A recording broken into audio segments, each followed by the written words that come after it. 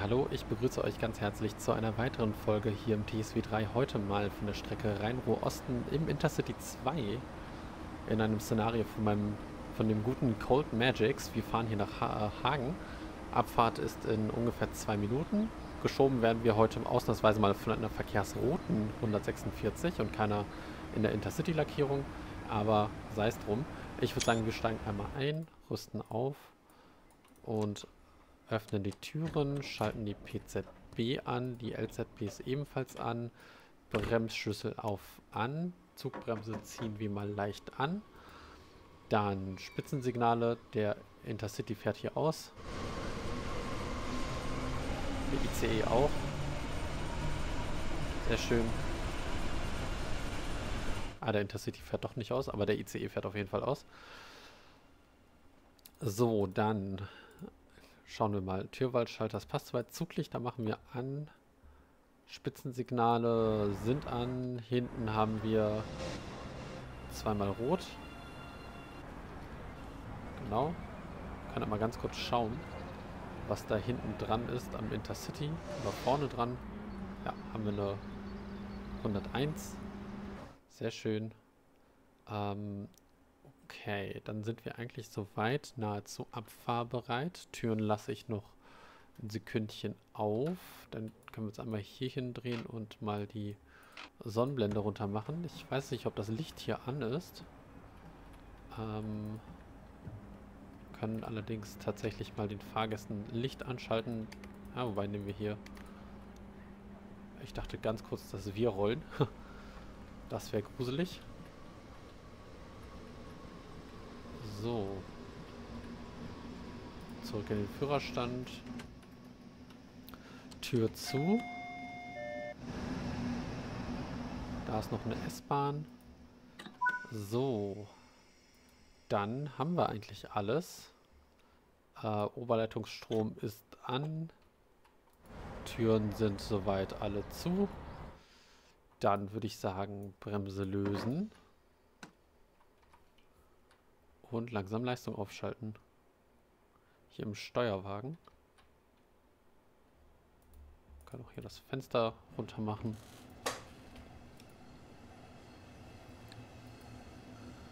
Wir befreien uns mal.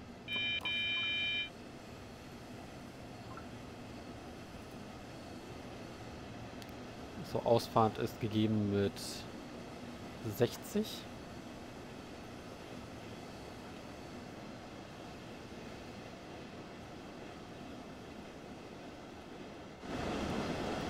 können noch gerne ein bisschen mehr äh, Bewölkung uns reinmachen. Dann haben wir etwas mehr Kontrast hier. Dann sieht das Ganze ein bisschen schöner aus.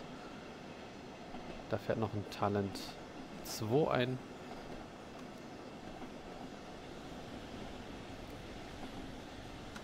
So, ab hier dürfen wir jetzt gleich auch 100 fahren.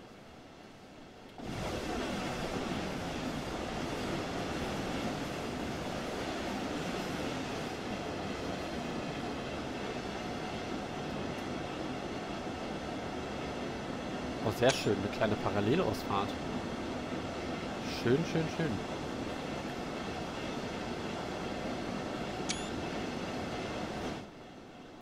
So, wir dürfen jetzt mal auf die 100 hoch. Dann machen wir das auch. Wir haben heute keine Zwischenhalter. Das heißt also, wir fahren einmal durch. Direkt bis nach Hagen.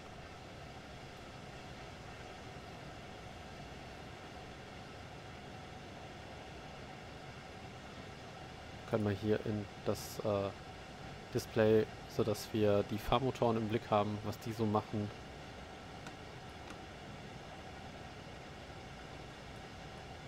Vorbei an der S-Bahn.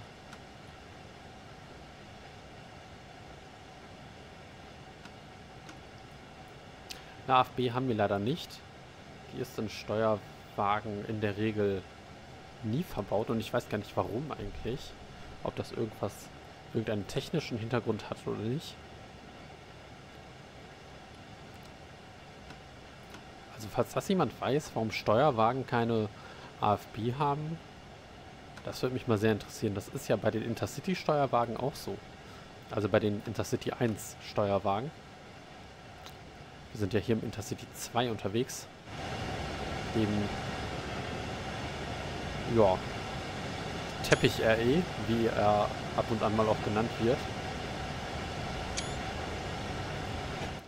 Uh, sehr schön. Da kommt uns nur 185 entgegen von RTB. Sehr schön. So, wir dürfen 130 fahren.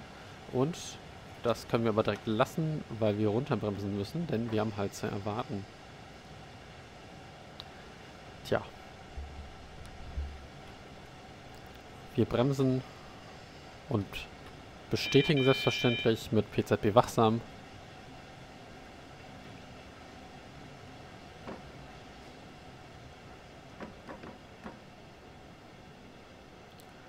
Bin mal interessiert, was da vor uns lang tuckert. Vermutlich ein Regionalexpress. Da kommt uns noch ein Güterzug entgegen. Sieht aus wie bespannt mit einer 185. Wir müssen jetzt erstmal ein bisschen runterbremsen. Da vorne ist unser HP0 zeigendes Signal. Moin. Doppeltraktion.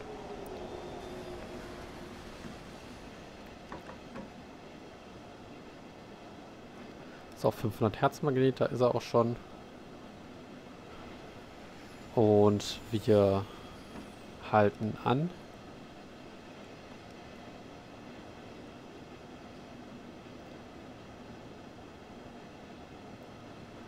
Unterwegs sind wir übrigens hier im Intercity 2045, der nach äh, Dresden fährt.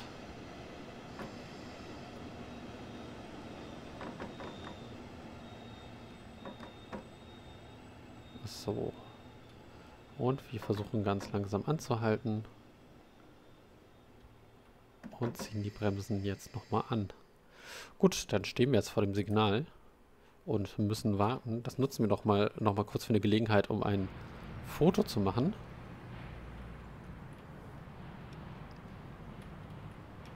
Das Video, ähm, das äh, Szenario ist in der Videobeschreibung drin.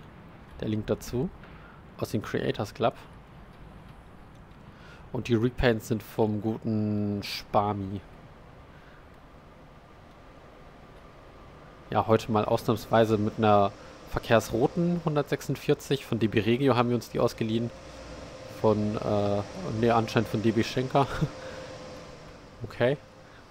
Ähm, das glaube ich zwar nicht, aber so ist das halt.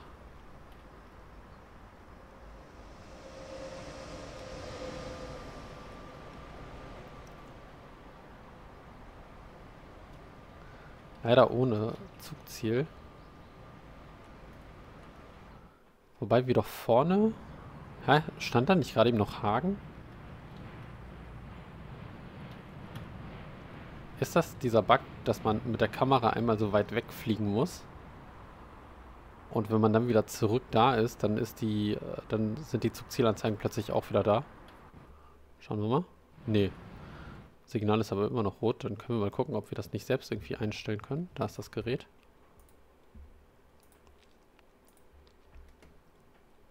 Aachen, Hagen. Wir würden gerne nach Dresden. Ich weiß aber nicht, ob es nur Anzeigen, nur, nur Stationen sind, die irgendwie was mit der Strecke hier zu tun haben. Das wirkt nämlich auf mich so.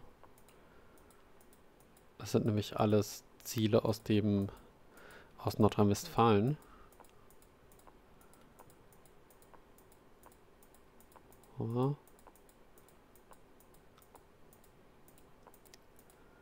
Hagen. Ja, Hagen wäre auf jeden Fall schon mal was, ne? Das ist ja in dem Sinn unser nächster Halt.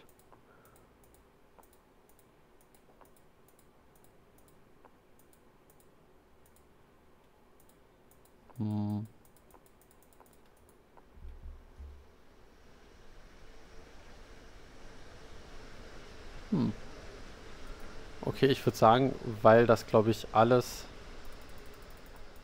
Ähm, genau, ja, das sind alles Ziele in Nordrhein-Westfalen. Dann äh, bleiben wir mal bei Hagen, weil wir eh nicht Düsseldorf, ähm, Dresden finden werden. Das ist Essen. Jetzt sehe ich gerade nicht, was wir da haben. Essen, Stehle.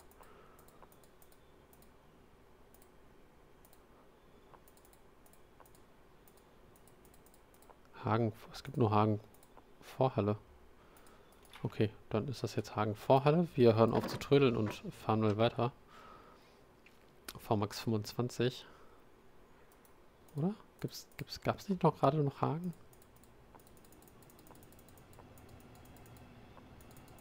Nee. Hagen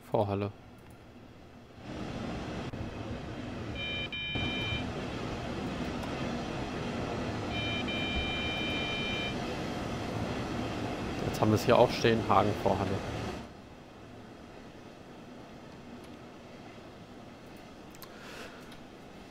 So, dann hoch auf die 130. Wobei, ob das so viel Sinn ergibt, weiß ich nicht. Wir stehen ja vor einem Zug. Äh, wir fahren ja einem Zug hinterher. Von daher wäre es vielleicht sinnvoller, die Geschwindigkeit ein wenig zu reduzieren. Und nicht sofort wieder Vollstoff zu geben. Vielleicht fahren wir einfach mal mit 100 weiter erstmal. Und beobachten, wie das so ist dann mit den Signalen.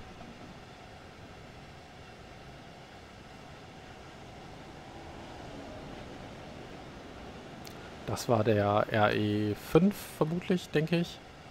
So, wir fahren mal 100 weiter. Ich meine, das ist der RE5, der Richtung... Nee, warte, gar nicht. RE... Ah, ich überlege gerade. Wuppertal? Nee, weiß ich gerade nicht.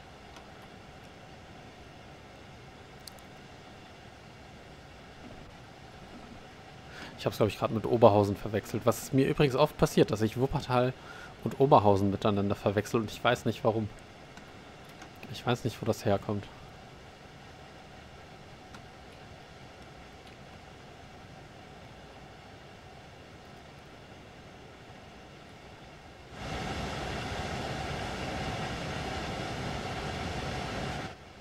Oh, schön.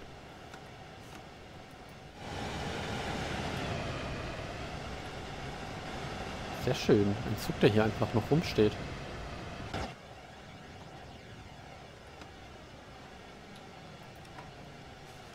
Dieses Bild kennt doch jeder, oder? Dass man unter einer Brücke herfährt, meistens mit dem Auto und darüber ist halt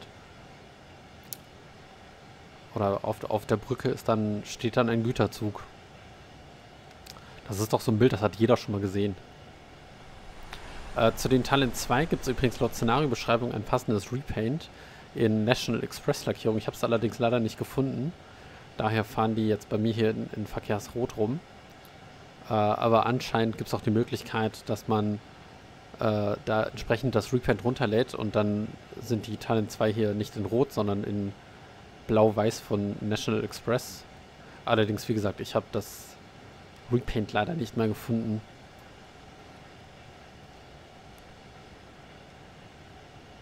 Genauso für die 146. Auch da gibt es wohl ein passendes Repaint.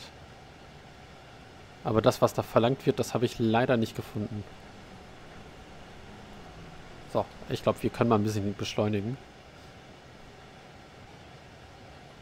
Okay, wir können es auch wieder lassen.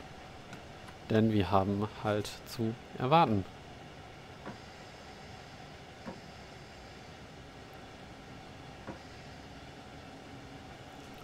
Bestätigen wir.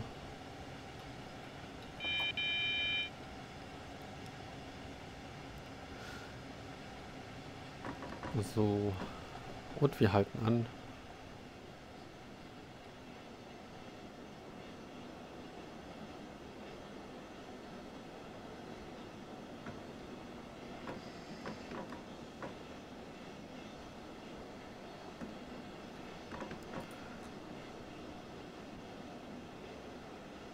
So, das Vorsignal ist für uns. Wir rollen jetzt einfach mal.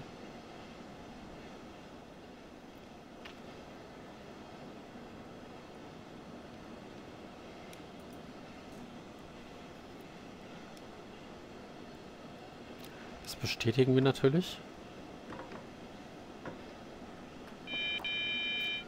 Und da vorne ist auch schon das Hauptsignal.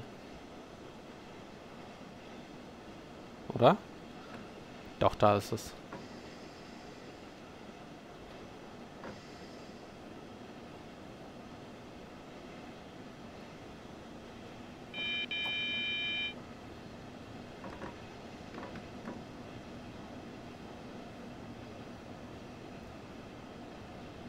Uh, das ist ein IC1.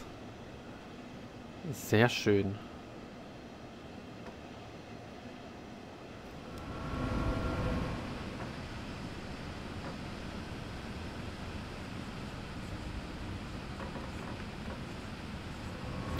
Mit Soundmod natürlich.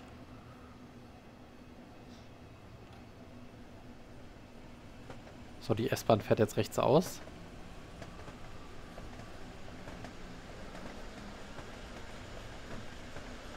Und wir halten an.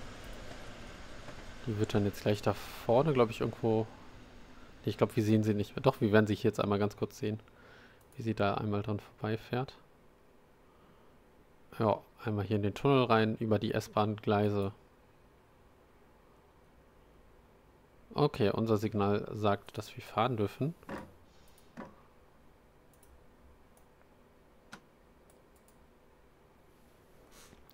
Das machen wir mit Vergnügen.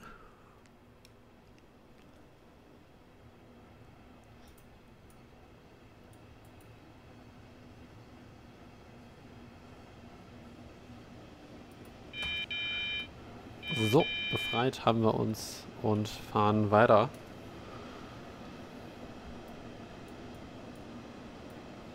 Oh, ich sehe ein rotes Signal vor uns. Kann das sein? Ja.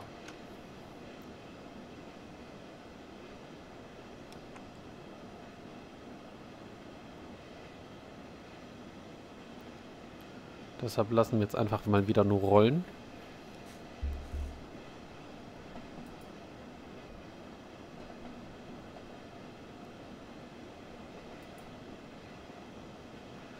Jetzt glaube ich, eh ein bisschen bergauf. Ja, ordentlich. Das heißt also, wir müssen da gar nicht großartig bremsen.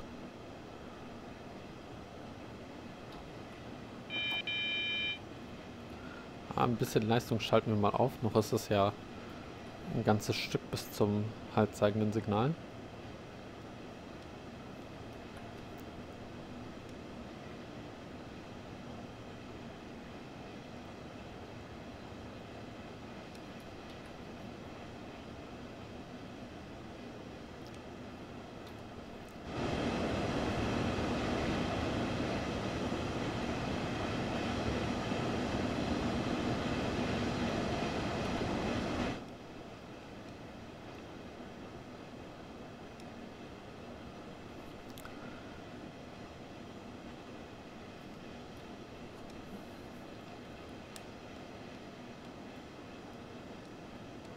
Ich weiß gar nicht, um wie viel Uhr wir ankommen sollen, aber bei dieser Schleichfahrt heute glaube ich nicht, dass wir einen Fahrplan einhalten können.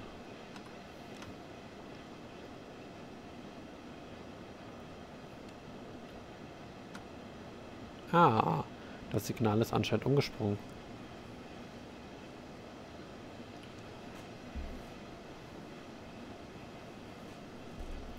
Dann dürfen wir 85 fahren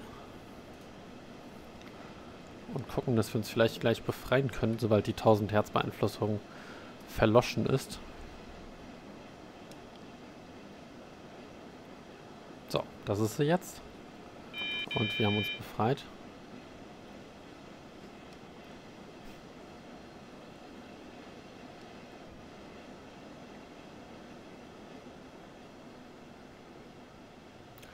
Müssen aber, wie gesagt, jetzt nicht so extrem viel Leistung aufschalten. Können da ganz langsam beschleunigen.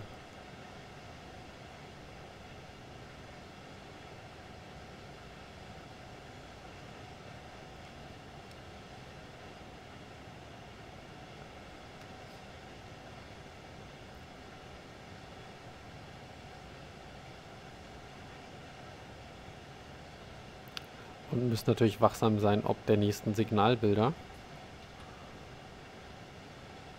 Denn vermutlich wird das nächste eh schon wieder uns einen Halt ankündigen. Gehe ich jetzt einfach mal von aus.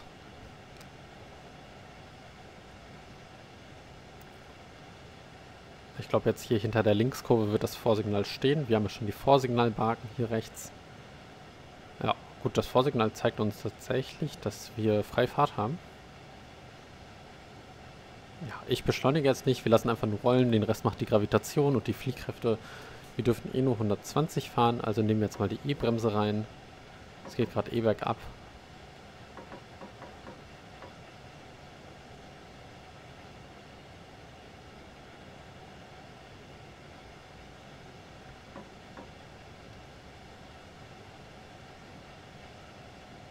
Uh, eine 110. Sehr schön. Sehr, sehr schön.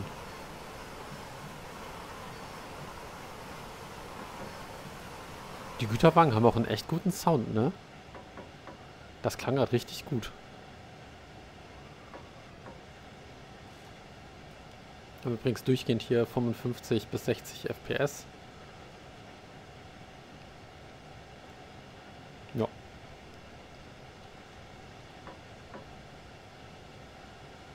So, ab hier sind es 150.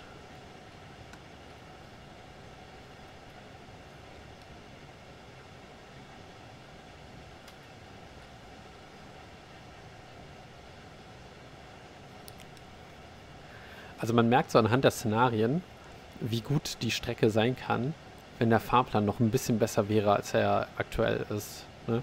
Also wenn wir noch ein bisschen mehr so Fernverkehr und sowas hätten, wenn uns tatsächlich mal auch im Fahrplan ICE und sowas entgegenkommen würde, das wäre schon unglaublich. Das wäre richtig gut.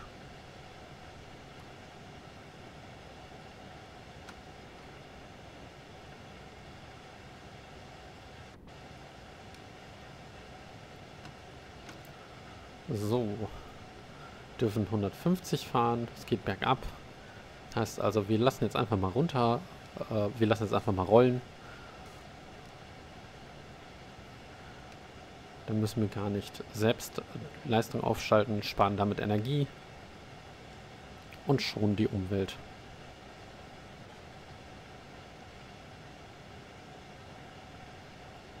Jetzt können wir die dynamische Bremse, ups, die E-Bremse lösen, ähm, anziehen und können damit sogar noch ein bisschen Energie zurückspeisen.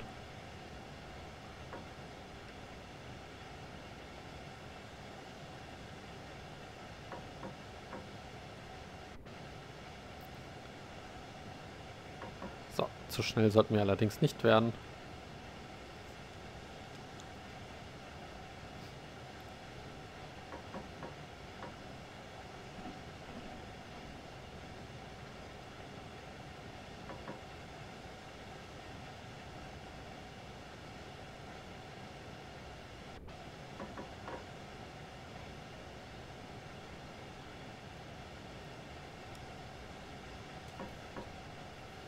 Ah, wir dürfen 160 fahren. Allerdings ist da eine Ankündigung auf 150. Ja gut, dann bleiben wir bei den 150.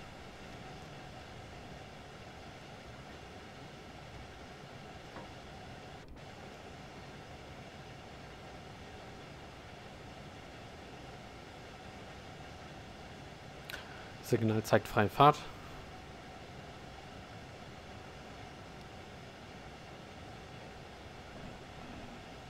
Ab hier gelten dann die 150, da kommt uns was entgegen. Sieht aus wie Fernverkehr. Noch ein IC2.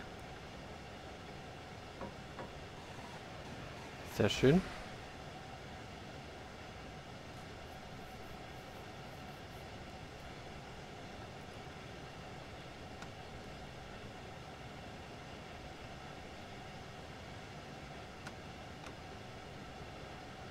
So, Ankündigung auf 100.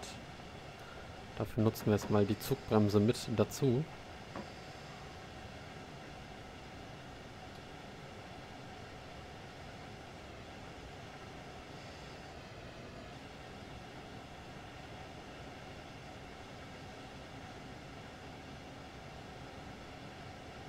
Und da haben wir auch schon halt zu erwarten, die Langsamfahrt zu erwarten. Ab hier gelten noch die 100. Und wir bestätigen. Wir sind wachsam.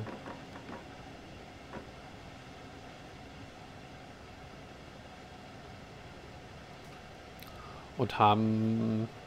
Ja, steht jetzt nicht, welche Geschwindigkeit angekündigt ist. Ich denke mal, es wird 60 sein.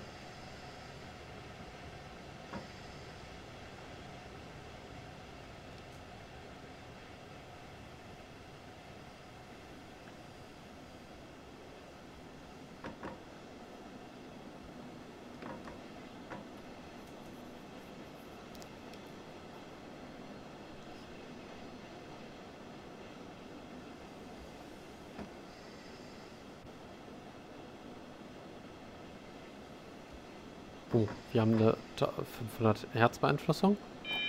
Aus dem Nichts heraus. Ja. Okay, da, da kann ich jetzt... Da kann ich jetzt nichts für, würde ich mal behaupten.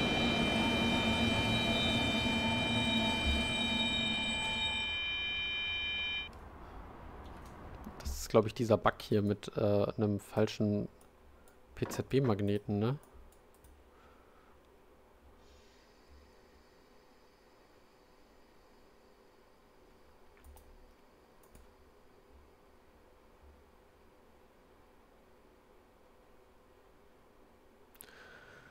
So, Hauptluftleitung 5 Bar, Hauptluftbehälter 10 Bar, fast beim Zylinder ist leer und wir rollen auch schon.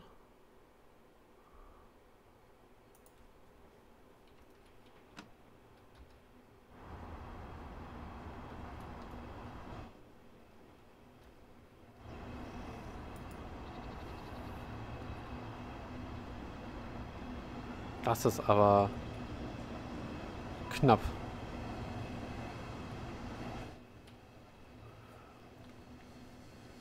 So.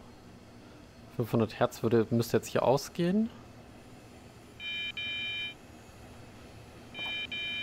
So, bestätigen muss man das Signal trotzdem.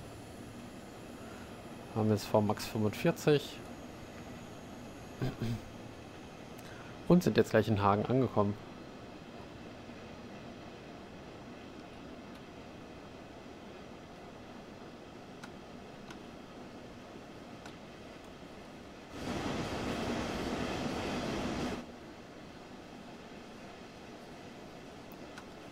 So. Da erstreckt sich auch schon der Hagener Hauptbahnhof, der in der Realität nicht der allerschönste Bahnhof auf der Welt ist.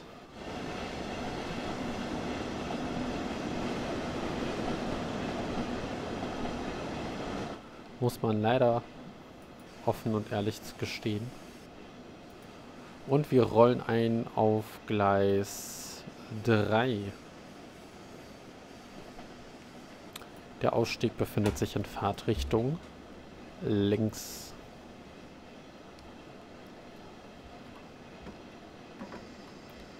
So, da ist auch schon das halt zeigende Signal.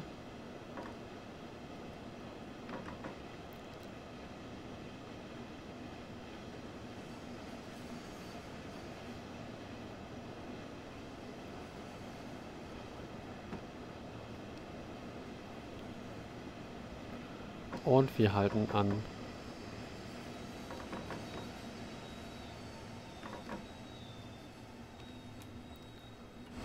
So, wir sind komplett am Bahnsteig.